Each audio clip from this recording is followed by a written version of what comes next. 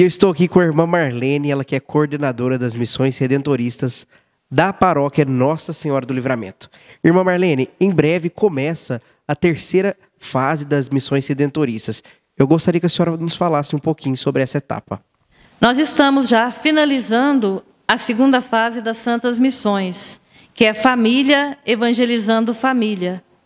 E no dia 3, no domingo, nós estaremos recebendo os missionários redentoristas, que estarão na paróquia Santo Antônio, São Sebastião e aqui na paróquia Nossa Senhora do Livramento.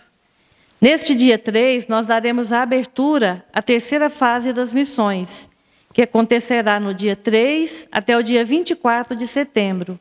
E dentro dessa programação, nós teremos vários momentos em várias comunidades.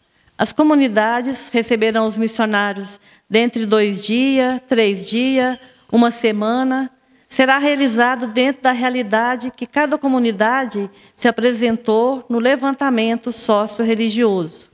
E lembrando também que nesse período nós estaremos trabalhando na cidade de Doresópolis. Os missionários estarão lá do dia 6 ao dia 10, com todas as famílias que participaram conosco.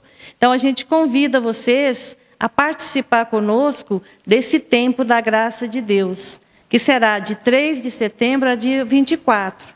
Procure sua comunidade, procure o seu coordenador e venha celebrar conosco as graças de Deus. Lembrando também que cada comunidade irá receber a imagem peregrina de Nossa Senhora Aparecida. Essa imagem missionária, ela vem com os missionários para estar visitando cada comunidade e cada família. Então venha celebrar conosco nesse tempo santo da graça de Deus, as santas missões na cidade de Piuí.